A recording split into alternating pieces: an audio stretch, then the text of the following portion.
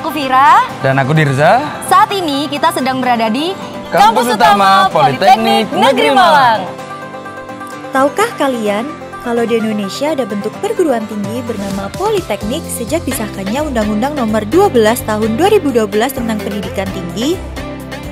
Politeknik sebagai lembaga pendidikan tinggi vokasi mengemban tugas untuk mempersiapkan mahasiswanya siap bekerja dan cepat mendapatkan pekerjaan ketika lulus nanti. Polinema adalah salah satu politeknik negeri dari 44 politeknik yang berada di bawah Kementerian Pendidikan, Kebudayaan, Riset, dan Teknologi Republik Indonesia.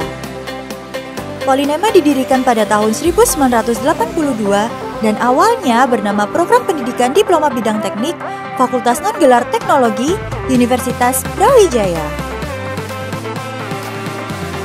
Saat ini Polinema telah berkembang pesat dengan memiliki 7 jurusan dan 47 program studi yang dapat kalian jadikan pilihan untuk melanjutkan studi ke jenjang pendidikan tinggi.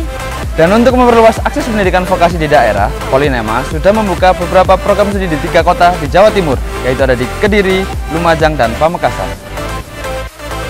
Program studi Polinema yang ada di Kediri, Lumajang, dan Pamekasan dikenal dengan sebutan Program di Luar Kampus Utama atau PSDKU atau lebih populer disebut Polinema Kampus Kediri, Polinema Kampus Lumajang, dan Polinema Kampus Pamekasan.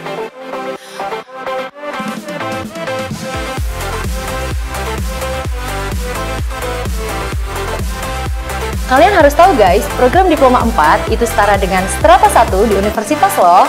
Lulusannya bergelar Sarjana Terapan dan untuk Diploma 3 bergelar Ahli Madya. Sejak tahun 2022, Polinema sudah membuka seleksi penerimaan mahasiswa baru nasional loh, yaitu ada jalur SNBP, SNBT, dan jalur seleksi mandiri.